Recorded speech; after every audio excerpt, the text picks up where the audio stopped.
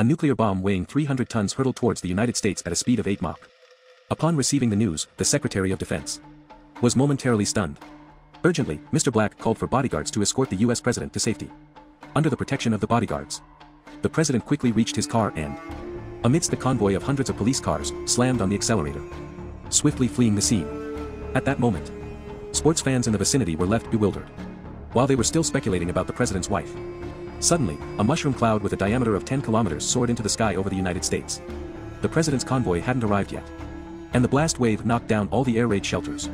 Tumbling down the hillside, after the nuclear explosion, special forces swiftly initiated rescue operations. Inside an overturned armored vehicle, the president, his head buzzing, was transported to Air Force One. Back at the anti-aircraft base, the president expressed extreme anger, suspecting Russian involvement. However, this was not the end of the crisis. Thousands of miles away from the United States, countless nuclear missiles were rapidly ascending.